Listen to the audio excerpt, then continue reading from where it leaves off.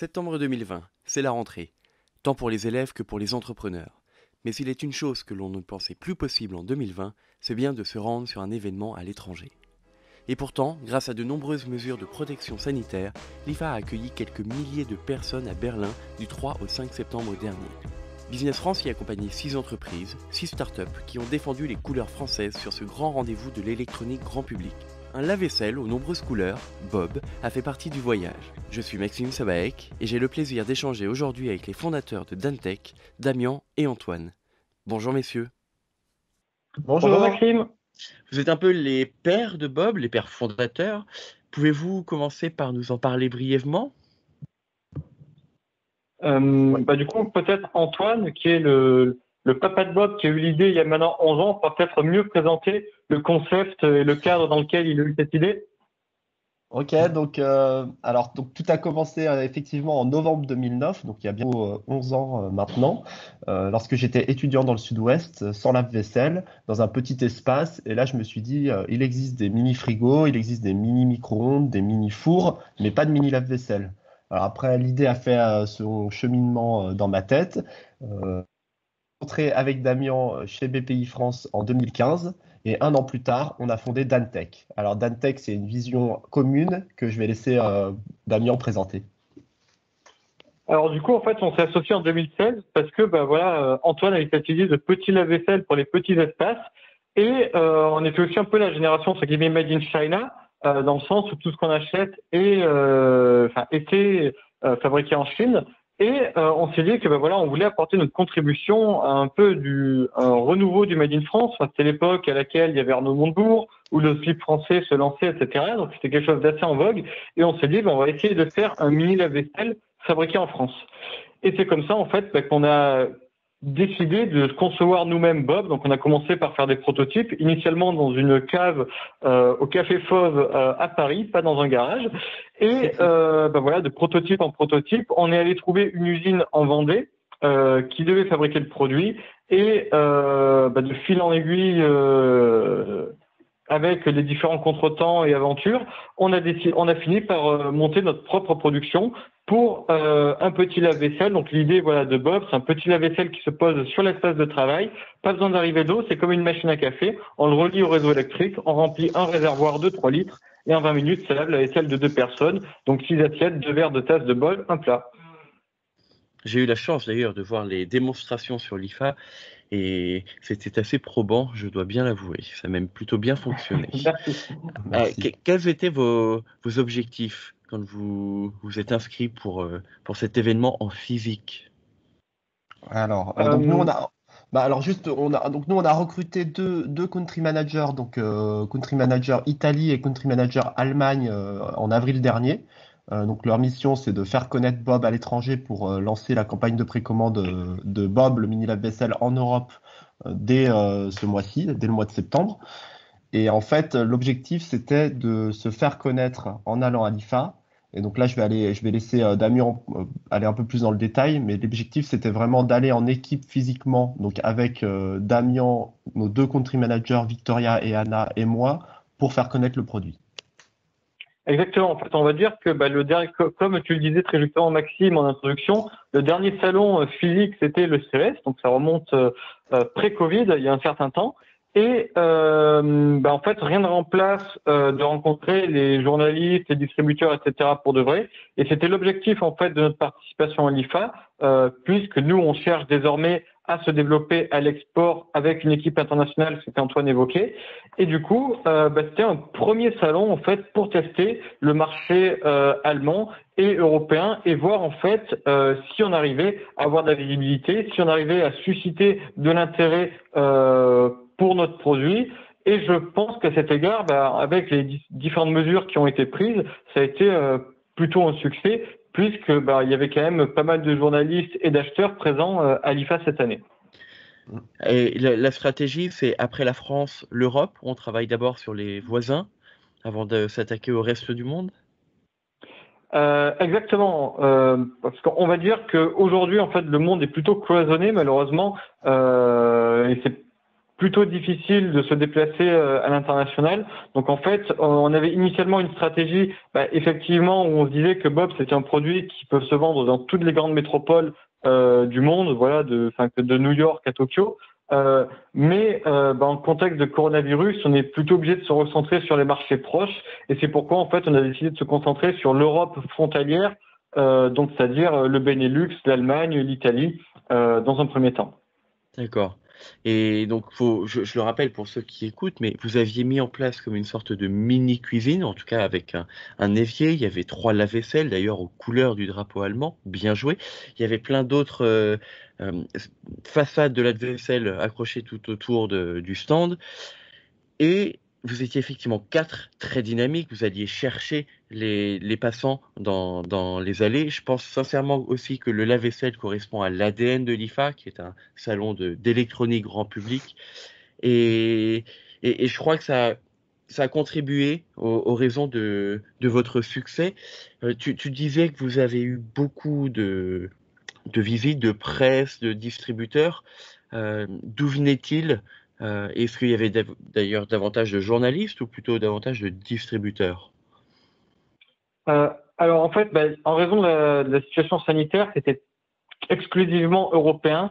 Euh, il n'y avait pas d'Américains et pas d'Asiatiques, ou quasiment pas. C'était que des personnes qui vivaient à Berlin ou, en, Europe qui se sont déplacées. parce que bah, je pense que niveau sanitaire et législatif, c'était pas possible pour des personnes d'autres continents de venir. Euh, et du coup, c'était quand même très intéressant pour l'approche européenne, puisqu'en fait, pour le coup, c'était très allemand. Donc, on a eu la chance d'avoir Victoria avec nous, qui était germanophone, qui du coup, du coup, a pu nous aider euh, à échanger bah, avec effectivement des interlocuteurs euh, germanophones qui préfèrent bah, du coup parler allemand qu'anglais. Euh, et ensuite, c'était très européen, y compris euh, Europe de l'Est et du Nord. Donc, euh, tout ce qui est Scandinavie et euh, Pologne, Hongrie, etc. Et c'était très intéressant parce qu'en fait, on a découvert à l'occasion de ce salon euh, qu'en fait, Bob, c'était réellement un produit euh, qui pourrait être vendu dans toutes les capitales européennes et pas forcément en Europe de l'Ouest. Et j'aimerais euh, simplement ajouter euh, une petite phrase sur le côté euh, stand et le côté physique de l'événement. En fait, nous, on pense avec Damien que c'est très important d'être physiquement sur les salons parce que, comme tu l'as dit, Maxime, en fait, l'ADN de l'événement, c'est de montrer des produits physiques. Et en plus, nous, ce qu'on voulait, c'était le, mettre un peu dans son contexte. Donc, on, s'est impliqué, on est allé la veille, la, veille du, salon, du lancement du salon, pour monter le stand. On a monté notre cuisine, on a installé les bobs, on a présenté toutes les couleurs parce qu'on voulait que, créer un univers en fait autour de, notre produit, autour de la marque Bob et de notre entreprise Dantech. Et en fait, c'est ça aussi qui contribue au succès euh, d'un salon, c'est qu'en fait on, a un stand qui est attractif, euh, les gens s'y arrêtent parce qu'il est, euh, est coloré, il est beau, et on avait aussi préparé de nombreux goodies. que Damien avait sourcé. Donc justement, en fait, l'objectif, c'est d'être, de créer un lien avec les gens qui viennent, parce qu'ils ont essayé de faire un, salon en ligne, hein, le, salon IFA Extended euh, online. Donc bien sûr, on a eu un espace à nous, mais en fait, les retombées ont été pratiquement nulles. En fait, c'est-à-dire que les gens veulent quand même euh, du physique, et je pense qu'on n'arrivera pas à se passer des salons physiques. Bah, je, crois que c'est ce qui inquiète pas mal euh, d'exposants ou, même de participants, c'est-à-dire des visiteurs sur des salons d'électronique grand public, c'est comment réussir à faire une démonstration probante en ligne. C'est très compliqué. Donc vous, vous, nous euh, dites oui, effectivement, c'est la raison pour laquelle nous on se dit qu'on entre guillemets, soit on fait des salons physiques, soit ben, on attend qu'il y ait des salons physiques, mais on va dire on est assez dubitatif de la partie en ligne. Et ça dépend pas que de la démonstration, mais c'est aussi en fait l'humain. C'est que c'est très difficile d'échanger et de créer du lien avec des personnes euh, qui sont à l'autre bout du monde et euh, avec qui on a une connexion hasardeuse euh, qui dépend des aléas du bon vouloir de la DSL. Donc les, pour nous, les salons physiques, c'est quand même quelque chose qui est difficilement remplaçable et c'est pour ça que l'IFA, premier salon physique de l'année depuis le CES, était pour nous quand même un milestone assez important. Oui, mais d'ailleurs, on dit souvent qu'on vient travailler sa notoriété, on vient se faire connaître au salon du CES de Las Vegas au mois de janvier, et on vient vendre son produit euh, sur l'IFA. Est-ce que vous étiez prêt à vendre votre produit? Bah, là aujourd'hui, Bob euh, est toujours en précommande sur notre site, mais on commence désormais les livraisons. Donc euh, oui, on peut dire que Bob est désormais prêt à être vendu, et c'était ça l'objectif de l'IFA, c'est typiquement d'engager des, des discussions avec de potentiels clients et de potentiels distributeurs sur des marchés lointains, comme la Scandinavie ou l'Europe de l'Est, euh, justement en fait pour préparer euh, la phase de vente qui arrive euh, de façon imminente. Donc on avait un produit qui correspondait au salon, un produit qui était prêt à être vendu, une équipe avec euh, vous, deux, donc les fondateurs, plus deux country managers, un stand ultra travaillé. J'ose même pas demander s'il y a d'autres raisons à, ce succès euh, sur, euh, sur ce salon. Hum, ouais, le, non, mais le produit voilà, le produit aussi plaît. Euh, on a bien préparé, on a bien travaillé en amont, ça c'est important aussi pour Et évidemment, le, soutien actif de Business France. Ah oui. Alors je, vais rebondir plutôt sur le, la préparation en amont. Qu'avez-vous fait euh, avant le salon pour, euh, pour, pour réussir on a travaillé avec vous, hein. typiquement, on a travaillé avec vous pour euh, un communiqué de presse, euh, qu'on a diffusé en août, donc c'était trois semaines avant le salon, puis une semaine avant le salon, euh, pour justement viser des médias allemands, donc pour avoir des retombées, et inviter des gens sur le salon. Donc c'est aussi ça qui peut aussi contribuer au succès d'un salon, c'est de des communiqués de presse en amont pour dire aux personnes, bah, venez nous rencontrer, on est là, on n'est pas tous les jours à Berlin, donc c'est maintenant ou jamais. Oui, ça a bien réussi, parce que je crois que vous avez eu des, des, un quotidien allemand, euh, des télés allemandes, euh, un gros show sur euh, une chaîne anglaise de mémoire. Oui. Il y, avait quand même souvent des caméras chez vous. Exactement. Oui, exactement. Ben, en fait, justement, c'est ce qui était assez surprenant au final, c'est qu'on a eu des médias, mais de beaucoup de pays, y compris euh, bah, typiquement euh, l'Espagne, la Hongrie. Euh, bon, et après voilà des, médias allemands assez importants. Et pour nous, c'est quand même une très bonne surprise que notre produit et notre équipe aussi ait réussi à susciter autant d'engouement. Alors du coup, ça m'amène à une question qui est qui, qui, je pense, est importante, mais je pense même avoir la réponse. Un salon à taille réduite, de votre point de vue, du coup, c'est plutôt un échec ou c'est plutôt une opportunité? Euh, ben en fait, euh, après Antoine, je te laisserai te donner ton point de vue, mais euh, on va dire que par rapport au CES, en fait, on trouve que l'IFA était plus réussi, alors qu'il était plus en comité restreint, parce qu'en fait, du coup, les entre guillemets, euh, ben, ça filtre un petit peu, on va dire, les gens qui vont sont réellement motivés pour y aller. C'est pas uniquement des personnes curieuses, donc c'était tous nos interlocuteurs étaient d'une très grande qualité, donc c'était super intéressant. Et euh, ben en fait, ça laisse plus de place pour euh, échanger, euh, comme on est en petit comité. Là où en fait des gros salons comme le CES où il y a beaucoup beaucoup d'affluence, enfin en tout cas c'était le cas avant, euh, ben en fait c'est surtout les gens prennent votre carte de visite, vous parlent de secondes et puis enchaînent. Et en fait il y a tellement de start-up que je pense que euh, au final, il y a peu de choses qui restent. C'est-à-dire que euh, ben, quelques mois après, bon, on a quelques échanges, mais grosso modo, il n'y a pas de, enfin, il y a beaucoup entre guillemets de personnes qu'on rencontre, mais au final, les gens avec qui on va réellement travailler se comptent sur les doigts d'une main. Là où en fait, à l'IFA, on rencontre beaucoup moins de monde, mais en taux de conversion, on est sur un taux de conversion beaucoup plus élevé. Et au in fine, euh, les retombées euh, réelles nous ont semblé plus importantes à l'IFA qu'au CES. C'est exactement ce que me disait d'ailleurs euh, l'un des, exposants avec nous sur le, pavillon français, euh, Adrien de chez Actronica, et il ajoutait même que les rendez-vous pouvaient durer un peu plus longtemps, c'est-à-dire que tu n'avais plus 20 personnes d'un grand groupe avec un seul décideur qui écoutait, mais qui du coup ne pouvait accorder que 5 pauvres minutes. Euh, maintenant, le mec était tout seul, et, il avait euh, bien 20, euh, 30, voire 40 minutes à t'accorder, donc il pouvait rentrer dans les détails. La discussion était plus complète. Oui, oui en fait, c'est exactement ça. c'est pour rebondir euh, très rapidement sur qu'a dit Damien. C'est que nous, c'est un produit physique. On faisait des démos hein, sur notre stand. Donc, faut imaginer le lave-vaisselle qui, tournait. On a aussi un mode UVC, donc de désinfection par rayon ultraviolet. Donc en fait, c'était très intéressant d'avoir des personnes qui restaient 20, 30 minutes sur le stand. On pouvait leur euh, montrer tous les cycles différents, les couleurs, naviguer dans l'interface, euh, leur présenter euh, la brochure et vraiment dans le détail.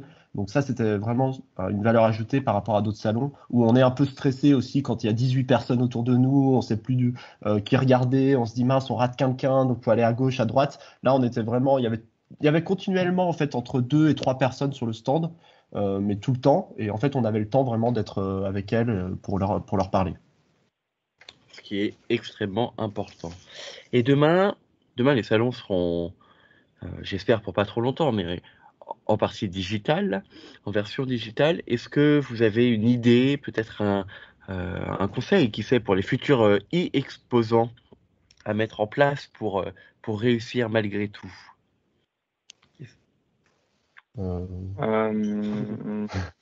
Bah, D'espérer que les salons physiques reviennent vite. Ouais, non, là, en vrai, euh, bah, ça dépend après, des... chaque startup est différente. Hein. C'est peut-être que pour bah, certaines C'est vrai que, par exemple, une application ou un truc, ça se prête plus à d'une exposition, entre guillemets, euh, online, enfin, virtuelle, mais un produit physique euh, avec, avec, lequel l'utilisateur doit interagir, bah, rien remplace le physique. Enfin je, enfin, je pense que vous n'irez jamais acheter une voiture si vous voulez seulement essayer en réalité virtuelle. Bah, enfin, je pense que pour tous les produits physiques, c'est pareil. Mm. Oh, tout à fait. Et d'ailleurs, quel est euh, le prochain événement pour Dantech euh, C'est Big. Antoine? Alors on ah a deux, exactement. on a deux, euh, deux événements à venir donc cet automne. Donc le 1er octobre à, Big à la Accor Arena de, à Paris, donc Paris Bercy. Donc c'est un événement organisé par Business France qui est ouvert au grand public aussi. Ah, pardon, par BPI France, pardon, aussi, excuse-moi. Il a refait. Mais, tout Business France sera présent, évidemment. C'est un événement euh, donc organisé par euh, BPI France. Et euh, donc ça, on a, à chaque fois, ça a été un, impact très positif pour nous avec des médias plutôt B2B ou professionnels type l'usine nouvelle. Donc ça, c'est très intéressant pour nous. Et après, le vrai événement euh, grand public B2C à venir juste avant les fêtes de Noël, c'est euh, le salon du Made in France, donc euh, MIF Expo, qui est là à la porte de Versailles. Donc ils l'ont maintenu. donc ça, c'est important aussi pour nous parce qu'en fait, on avait besoin de ce salon pour montrer le produit physiquement. Et donc ça, c'est du 6 au 8 novembre 2020. Euh, à Paris, porte de Versailles. Voilà. C'est vraiment un événement très sympa où on peut découvrir plein de marques françaises sur plein de marchés différents. Et je vais vous rajouter une date, Antoine et Damien. Ce sont les rencontres internationales de la French Tech, les RIFT, qui se déroulent euh, en présentiel et en ligne. Euh, présentiel dans les locaux de Business France et c'est le jeudi 3 décembre. Tu as tout l'écosystème de la French Tech qui part à l'international, qui se donne rendez-vous le 3 décembre chez Business France. Ah, trop bien. en présentiel, c'est bon, on sera peut-être présent. on, pourra y découvrir le, lave-vaisselle de Bob. Merci à tous les deux. Merci Antoine, merci Damien pour votre temps. Encore félicitations pour ce succès sur l'IFA. Je pense qu'on n'a pas fini d'entendre parler de vous. J'étais très content de vous accompagner, très content de discuter avec vous ce matin. Plaisir partagé. Merci beaucoup Maxime. À bientôt. super. Merci à bientôt. Merci. Et très bonne journée.